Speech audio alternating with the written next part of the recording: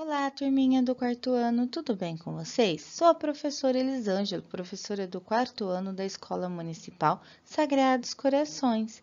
Irei acompanhar vocês durante todo o processo de aulas remotas. Para isso, a professora irá pedir que vocês separem alguns materiais que serão importantíssimos para a nossa aula. São eles: a apostila aula 1, um lápis, uma borracha e um marca-texto. Mas, professora, eu não tenho marca-texto. Pode utilizar o seu lápis de cor. Ele fará o mesmo efeito. Mas vocês devem estar perguntando, para que um marca-texto? Esse marca-texto ele será utilizado em algumas partes é, necessárias que vocês precisam de ter uma maior visualização do conteúdo para que vocês consigam um aprendizado melhor. Então, vocês vão utilizar ele para marcar essas partes ou grifar essas, uma palavra, algum texto, alguma imagem que precisa de ter uma maior visualização. Lembrando, a nossa apostila aula 1, ela foi dividida em três partes, ou seja, três dias. Então, cada dia será trabalhada uma parte. Ao final dos três dias, nós iremos iniciar a aula 2, que seria uma apostila 2. Combinado? Então, vamos lá. Matemática, aula 1, parte 1. Iremos dar início à nossa primeira aula de matemática. Então, nessa aula, nós iremos trabalhar até o exercício 4. E para casa ficará apenas o exercício 1. Caprichem! Essa é a primeira parte que vocês precisam realizar. O preenchimento será importante para a sua professora da sala é, saber quem foi que fez, é, que estudou naquele determinado material. Então, vamos conhecer um pouquinho dessa nossa apostila. Quem produziu essa apostila foi a Secretaria Municipal de Educação de Barretos. Aqui, sequência didática de aulas presenciais, nós, é, quando iniciamos o ano letivo, é, tínhamos uma turma que ficava presencialmente na escola e outra turma que optou para o ensino remoto. Então, quando iniciou no dia 5, é, essa apostila com a primeira turma vermelha, tanto do remoto quanto do presencial, nós iniciamos com essa apostila e daremos continuidade durante as aulas remotas. Devido à condição do município é, referente à pandemia, foi necessário é, fechar, é, suspender as aulas temporariamente. Então, por isso que nós continuaremos nosso estudo e na forma online. Nessa primeira parte, vocês têm a escola. Então, cada um de vocês vai preencher o nome da escola de vocês. Aluno, a mesma coisa. Professor e turma. No professor é o nome da professora da sala. E aqui a turma, se é quarto ano A, quarto ano B, a qual o quarto ano que foi repassado para vocês. Tudo bem? Lembrando, nome de escola, de aluno, professor são escritos com letras maiúsculas, são substantivos próprios. Sistema de numeração decimal. Vocês já viram esse conteúdo no primeiro, no segundo e no terceiro ano, então nós estamos recordando. Tenho certeza que se a professora perguntasse para vocês o que que era, vocês iriam responder rapidinho o que que significa esse sistema de numeração decimal. A professora trouxe alguns conceitos referentes a este conteúdo, mas a apostila também trouxe outros. Vamos lá? Podemos encontrar esses números em diversas situações no nosso dia a dia. Então, se a professora pedisse para vocês buscarem algum objeto ou que vocês mencionassem algo que contenham números, vocês iam elencar diversos dele, entre eles o relógio, a calculadora, o próprio número da, da sua residência, o endereço. Então, tem vários objetos que precisam desses números, que contenham números em sua é, composição. Os símbolos utilizados no sistema de numeração decimal eles também recebem o, número, o nome de algarismos, tá? Então, se vocês verem alguma atividade para vocês, é, forme alguns algarismos é, que contenham três ordens. Então, vocês já sabem que algarismos são os números. Mas quantos são e quais são esses números? O sistema de numeração decimal são formados por 10 números. São eles o 0, o 1, o 2, o 3, o 4, o 5, o 6, o 7, o 8 e o 9. E com esses algarismos, nós conseguimos formar qualquer outro número. Vamos dar continuidade ao sistema de numeração decimal. A professora já falou um pouquinho no slide anterior sobre o que é o sistema de numeração decimal, é o porquê que ele recebe esse nome. Agora, nós vamos à nossa apostila. Ela traz também alguns conceitos sobre o sistema de numeração decimal. Lembra que a professora pediu para vocês separarem um marca-texto, um lápis de cor? Então, esse vai ser o momento que nós iremos utilizar. A professora separou algumas marcações que serão muito importantes no estudo de vocês. Então, é, realize-as na sua apostila também. Vamos acompanhar a leitura, atentos, porque é o mesmo material que está sendo trabalhado, é o que vocês estão em mãos. Depois vocês façam uma releitura do que foi trabalhado. Olá, pessoal! Ficamos um período grande estudando em nossas casas, assistindo às aulas gravadas na TV e nos vendo apenas virtualmente. É um grande prazer poder contar, poder encontrar cada colega e trocar algumas experiências sempre com muito cuidado e seguindo as regras que garantirão nossa saúde e de nossa família. Mesmo virtualmente, esses cuidados irão continuar para nós estarmos juntos rapidamente. Vamos retomar algumas atividades de matemática, relembrando os números que estão presentes em nosso cotidiano. Além daquelas situações que a professora já falou com vocês, nós encontramos outras situações em que envolve os algarismos, em documentos pessoais, como RG, CPF, nas contas bancárias, calendários. E mas por que que ele recebe esse sistema, esse nome de sistema de numeração decimal? Ele recebe esse nome porque nós é, observamos que seus elementos são agrupados de 10 em 10. Vamos ver como isso ocorre? Esse material que a apostila trouxe é o material dourado. Nós utilizamos muito ele durante nossas aulas, do primeiro, segundo e terceiro ano. Quem lembra do jogo Nunca 10, Nunca 10 ao contrário? Aquelas peças amarelas do qual nós fizemos o jogo. É o mesmo material. Aqui nós temos o cubinho. Um cubinho equivale a uma unidade. Então, nós temos aqui apenas uma unidade. Aqui nós já temos a dezena. Então, para termos uma dezena, nós precisamos é, agrupar 10 elementos, ou seja, 10 unidades, 10 cubinhos, para que seja feita a troca por essa barra, que essa daqui no material dourado é chamado de barra.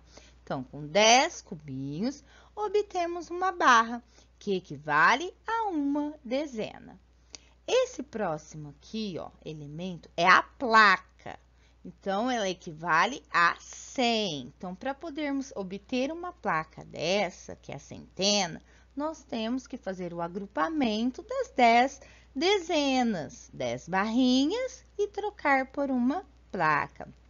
Então, com 10 barras, obtemos uma placa, que equivale a uma centena.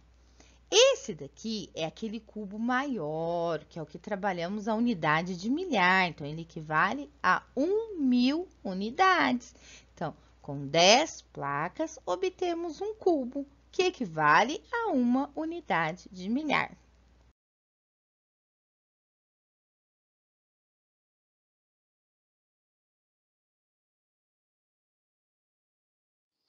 Aqui nesse slide, vocês irão é, ter uma visualização um pouco melhor do que a professora explicou no anterior. Então, ó, se vocês observar, vocês têm aqui os 10 cubinhos, que seriam 10 unidades. Essas 10 unidades, elas correspondem a uma dezena. Então, foi o que a professora falou, vocês precisam agrupar as 10 unidades para poder obter uma dezena. Aqui, você já tem as 10 dezenas. Então, vocês agrupando essas 10 dezenas, vocês têm uma centena. O mesmo ocorre aqui, ó. Vocês têm as 10 placas, que são as 10 centenas. Agrupando elas, vocês têm uma unidade de milhar. Nesse exercício, o que, que vocês precisam fazer? Vamos fazer a contagem de cada ordem. Então, nós temos qual ordem? Da unidade, da dezena e da centena. Então, nós vamos contar quantos elementos tem em cada ordem e colocar aqui no seu respectivo lugar. Então, vamos lá? Vamos primeiro começar pela ordem da unidade. Quantos tem? Um, dois, três, quatro, cinco. Então, nós vamos lá e colocar o número 5. Depois, nós vamos fazer a mesma coisa com a ordem da dezena. Vamos ver quantas barrinhas eu tenho? Uma, duas, três. Então, nós vamos colocar três dezenas. E, por último, nós vamos fazer a mesma coisa com a centena. Quantas placas eu tenho? Eu tenho apenas uma, ou seja, eu tenho uma centena. E assim vocês vão fazer nos demais exercícios. A contagem por ordem e colocando a quantidade que corresponde a cada uma. Nesse exercício, também trabalharemos com o sistema de numeração decimal. Mas ao invés de utilizarmos o material dourado, que foi o nosso apoio no último exercício, nós utilizaremos o ábaco. Ele é separado por ordens. Então, nós temos a ordem da unidade, a ordem da dezena, a ordem da centena, a ordem da unidade de milhar, da dezena de milhar. E em cada um dos exercícios da alternativa, vocês terão um ábaco e ele terá que ser realizado conforme está descrito em cada uma das suas ordens. Aqui nós temos um lembrete. Para as ordens vazias, utilizamos o zero. Então, aqui na unidade de milhar, nós temos uma ordem vazia. E aqui, na dezena, aqui depois da dezena de milhar, seria centena de milhar. Ela também está vazia. Só que a professora colocou uma outra observação. Quando uma ordem está vazia e à esquerda, ou seja, aqui, ó, não há outro algarismo, então não precisamos colocar o zero. No caso da unidade de milhar, não, nós temos números, nós temos elementos aqui, então aqui precisa ser colocado zero. Já que na centena de milhar não tem essa necessidade, combinado? Então vamos lá. O professor então trouxe esse exemplo para vocês para identificar como que se realiza o exercício e depois cada um de vocês terá que fazer é, em cada uma dessas alternativas a contagem para poder compor o número. Então vamos lá, o que, que nós temos que fazer? Verificar quantos elementos tem em cada ordem. Então, na unidade de milhar, na unidade nós temos um, dois, três, quatro, cinco. Então, vocês vêm aqui e colocam o número 5. Na dezena, 1. Um. Na centena, 1, 2, 3.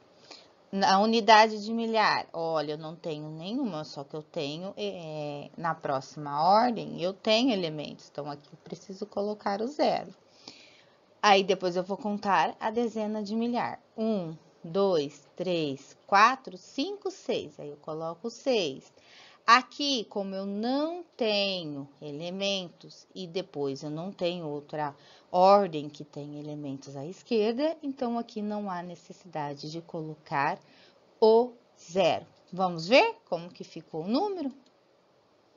Outra observação que a professora vai fazer é que além das ordens, é, os numerais eles podem estar divididos em classes. Então, aqui nós temos a primeira classe, que é a ordem das unidades simples, e aqui dos milhares. Aqui, a professora colocou um ponto separando as duas, ó,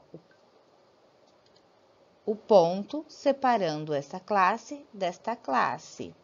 Então, eu contei os três primeiras ordens, coloquei um ponto e depois eu fui para outra classe. Podem aparecer numerais que não tenham esse ponto, que são separados por um espaço. Os dois indicam separação de classe. Combinado? A professora trouxe agora para vocês um outro é, complemento no sistema de numeração decimal, a decomposição de um número. Então, nós já aprendemos que o sistema de numeração decimal ele tem a base 10, que seria isso, que eles são um agrupamento de 10, então a cada 10 cubos eu troco por uma dezena. Aprendemos também que eles são formados por 10 números ou 10 algarismos, e com eles eu, eu posso fazer qualquer outro número. É, e agora, e Aprendemos também que nós podemos encontrar ele em diversas situações do nosso dia a dia. Então, agora nós vamos ver como faremos para decompor ou compor esses algarismos. A professora trouxe para vocês um quadro de valor no lugar. Então, todos os algarismos que estudamos lá no nosso início de aula, eles podem ser divididos em classes e em ordens. Então, essa primeira classe é a classe das unidades simples. Ela é composta por três ordens: unidade simples, dezena simples, centena simples. Aqui nós temos a segunda classe, que é a dos milhares. Então, nós temos a unidade de milhar, dezena de milhar centena de milhar. Nesse quadro que a professora trouxe, vai até a quarta classe, que é a dos bilhões. Então, vamos ver como que faz para fazer essa decomposição? Esse vídeo que a professora trouxe para vocês vai explicar um pouquinho sobre a decomposição de uma forma mais dinâmica. Só que o vídeo traz a decomposição até o número 100, mas vocês podem fazer essa decomposição de qualquer outro número. Vamos ver?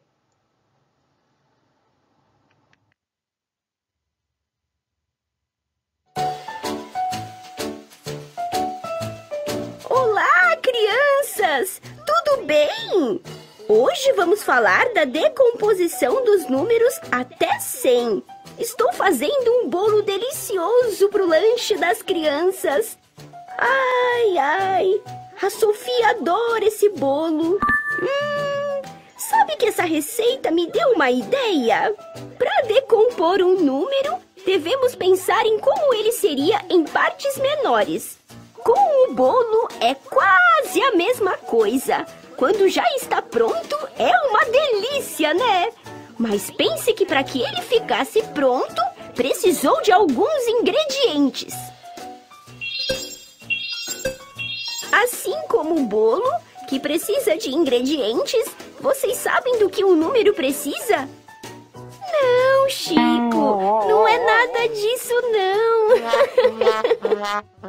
Para compor um número, nós utilizamos os algarismos, e é a posição de cada um deles no numeral que irá definir o seu valor. Querem ver? Por exemplo, o número 58. Para decompor o 58, temos que observar a posição de cada algarismo em suas respectivas ordens. Observe como podemos decompor esse número. O 5 está na ordem das dezenas. Ele vale, portanto, 5 dezenas. E o 8 está na casa das unidades. Vale, então, 8 unidades. 58 equivale a 5 dezenas e 8 unidades. Entendeu, Chico? Você sabe quanto valem cinco dezenas, Chico?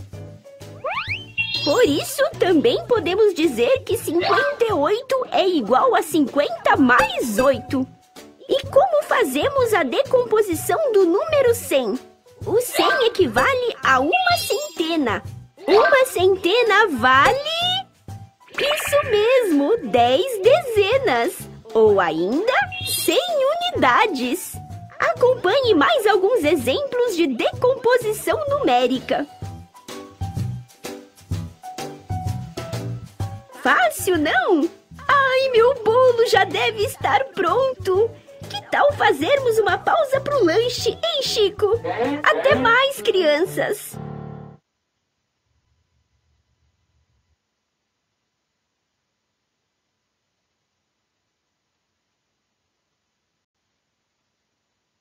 O exercício 3 trouxe a decomposição dos números. Vocês vão ter que fazer como exemplo. O exemplo trouxe o número 1348. Então, vamos lá. A ordem da unidade, da dezena, da centena e da unidade de milhar. Na unidade de milhar, você só tem uma. Então, uma unidade de milhar é igual a mil unidades. Então, vocês coloquem mil. Mas, quantas centenas vocês têm? Três. Quanto que vale cada centena? 100. Então, vocês têm 3 vezes 100, que é igual a 300. Aí, vocês vão para a ordem da dezena. Quantas dezenas vocês têm? 4. Quanto que vale cada dezena? 10. 4 vezes 10, 40. E vocês vão para no último número, que é o 9. Então, essa ordem aqui é a ordem da unidade. Então, cada unidade equivale 1. Então, 9 vezes 1, 9. Se vocês somarem o 1000 mais o 300 mais o 40 mais o 9, vocês vão obter o número 1349. E assim vocês vão fazendo nos demais. Exercício 4. Muito fácil, vocês vão escrever por extenso. O que é escrever por extenso? Escrever como vocês estão lendo o número. No caso da letrinha A, 259, então vocês vão é, colocar em palavras como vocês leram o número.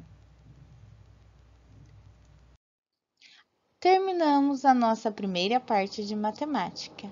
Agora, a professora vai explicar a tarefa. Nela é apenas o exercício 1 que vocês terão que fazer para essa aula. Vamos ver como faz? Aqui vocês têm o número decomposto. Nós já estudamos isso durante a aula. O que, que vocês vão ter que fazer? O agrupamento. Vocês vão fazer a soma, colocar o número aqui composto e como se ler ele. Tudo bem? Agora que terminamos, Vamos para nossa aula de português. Olá, meus amores! Gostaram da aula de matemática? E aí, preparados? Vamos dar início à nossa aula de português? Aula 1. Hoje a nossa aulinha de português vai ter início com os sons do R. Então, nós iremos trabalhar os diversos sons do R. Então, quando nós encontramos ele dentro de uma palavra, nós precisamos verificar o seu som. Dependendo de onde ele se encontra, início, meio final, ele vai possuir um som. A professora trouxe alguns para vocês recordarem os sons do R. Início de palavras, o seu som é forte. Exemplo: rato. No meio da palavra e antes da consoante, ele tem o som mais forte. Exemplo: guarda. Depois de vogal, ele aparece dobrado. Ele tem o som mais forte. Exemplo: carrinho. Ó, nós dobramos. Perceba que, a garganta força quando você vai falar os dois R's. Ó, carrinho.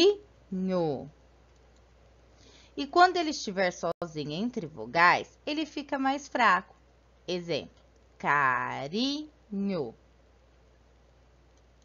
Agora a professora vai colocar um vídeo para vocês, para vocês concretizarem esse aprendizado com os sons do R. Tema da aula de hoje: o uso do R. Professora, eu descobri uma coisa muito legal. Sério? O que você descobriu? Eu descobri que a letra R tem vários sons. Você sabia? Isso é verdade. E você sabe por que isso acontece? Eu não sabia que tinha um motivo. Então, vamos fazer uma brincadeira para você descobrir o motivo? Calma, não precisa ficar assim. É muito fácil. Você vai ver. Tudo bem. O que vamos fazer? Preste atenção nas palavras que coloquei na lousa: carrossel, cereja, roda, careta rinoceronte, rádio, muro, barraca, carro. Agora quero que você separe essas palavras em grupos, da maneira que você achar melhor. Tudo bem. Eu separei assim, em dois grupos, um com apenas um R e outros com dois R's. Cereja, rádio, careta, roda, muro, rinoceronte, carrossel, carro, barraca. Muito bem, ficou ótimo. Mas será que é possível formar mais um grupo? Hum, deixa eu pensar. Acho que dá. Já sei, acho que eu posso separar dessa outra maneira: rádio, roda, rinoceronte, cereja, careta, muro, barraca, carrossel, carro. Agora você saberia me explicar por que separou dessa maneira? As palavras rádio, roda e rinoceronte começam com uma letra R e têm um som forte. Já as palavras cereja, careta e muro têm R no meio e está no meio de duas vogais. Sua pronúncia é mais fraca. Já as palavras barraca, corcel e carro possuem dois R's para que o som entre as vogais fique forte. Muito bem, é isso mesmo. Viu só como não é difícil? Só precisamos prestar atenção e pensar um pouquinho. Então, podemos afirmar que as palavras que possuem R no início têm o som mais forte e que só podemos usar um R no início da palavra. Quando o R se encontra entre vogais no meio das palavras, seu som fica mais fraco já para deixar o som do R entre vogais no meio da palavra mais forte, precisamos colocar dois R's. Professora, eu adorei descobrir os sons do R. Eu não falei que era fácil de entender? Vou correndo contar para os meus amigos que estão no recreio. Depois me conta como foi.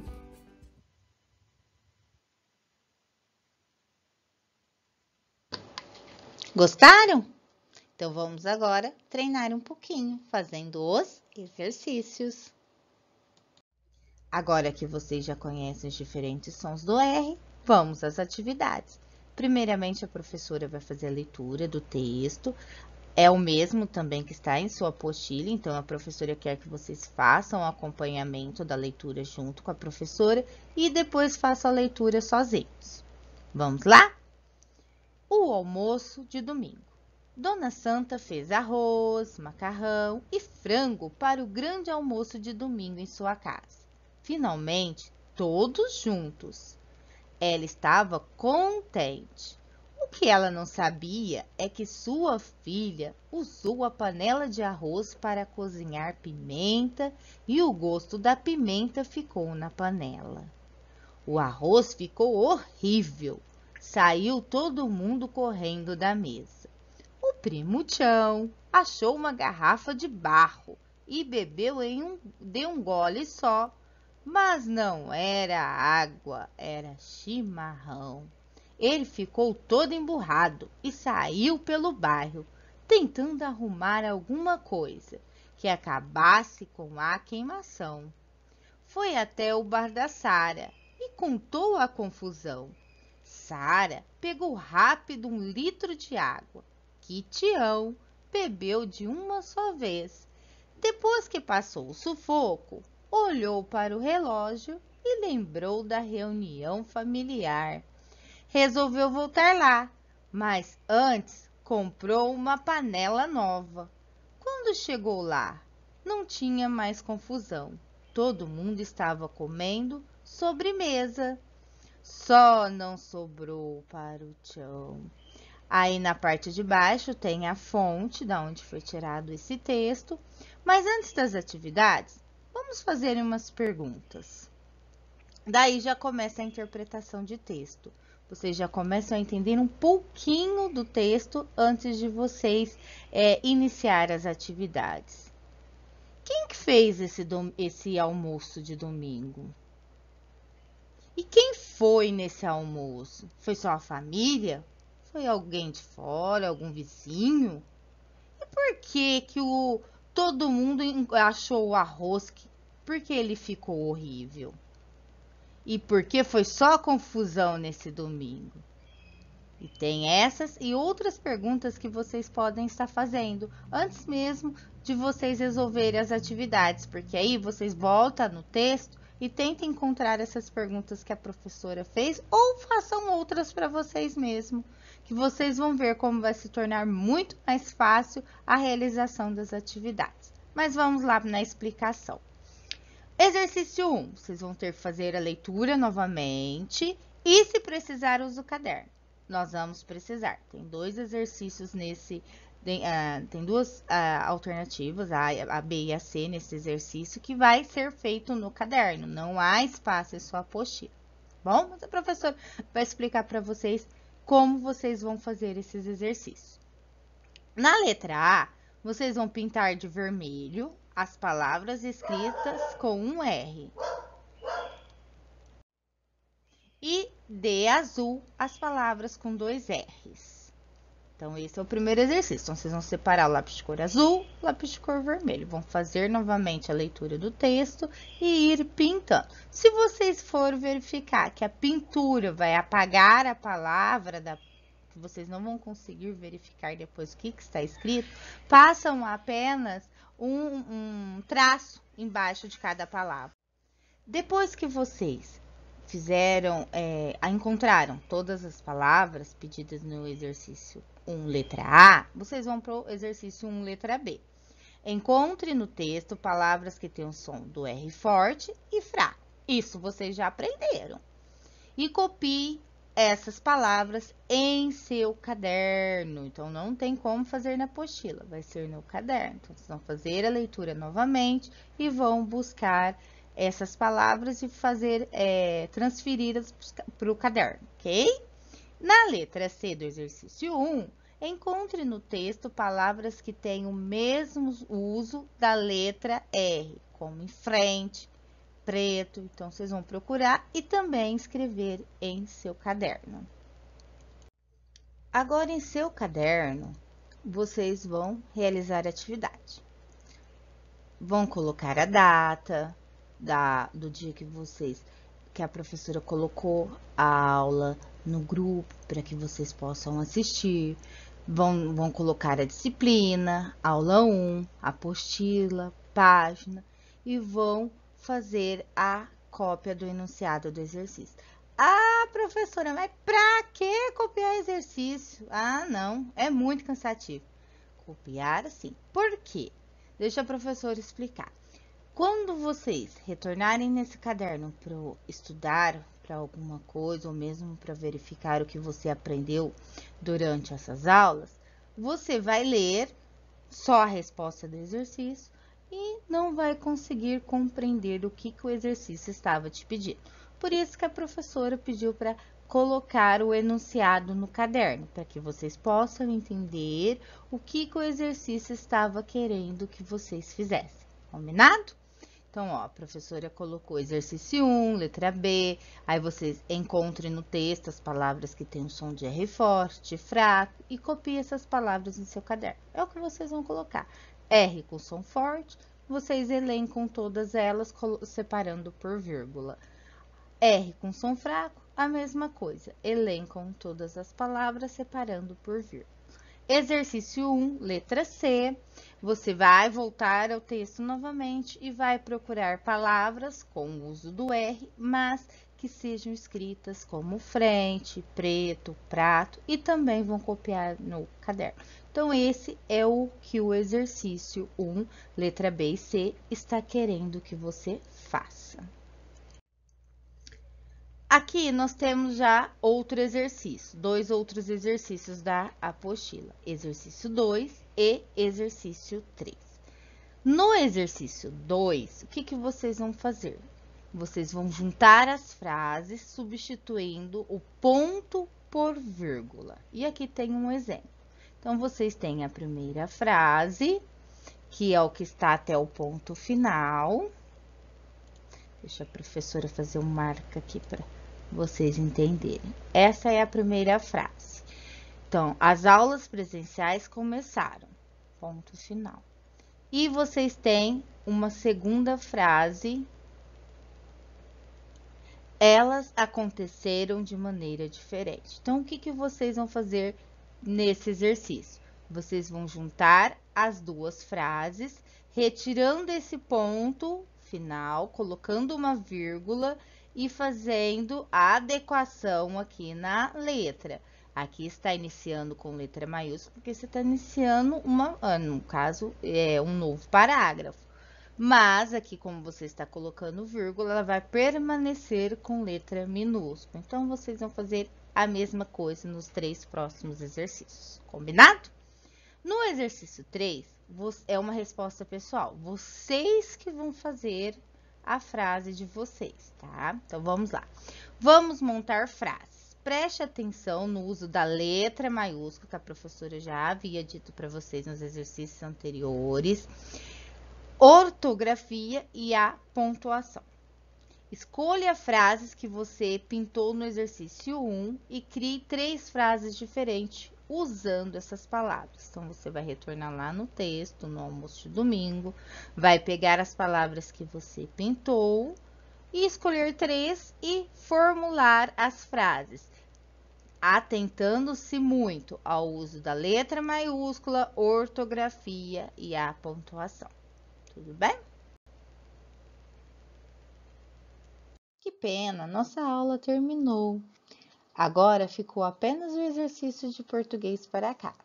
Já expliquei o de matemática e agora a professora vai explicar o de português. Nesse exercício de português, vocês irão observar a imagem e criar duas frases. Isso no exercício 1A. Depois, no exercício B, vocês, utilizando a vírgula, vão juntar essas duas frases. Combinado? Até a próxima! Agora que terminamos nossa aula, se caso ficou alguma dúvida, assista o vídeo novamente, refaça os exercícios e se mesmo assim persistir alguma dúvida, a sua professora terá o maior prazer em te ajudar. Até a próxima aula, um grande abraço, tchau!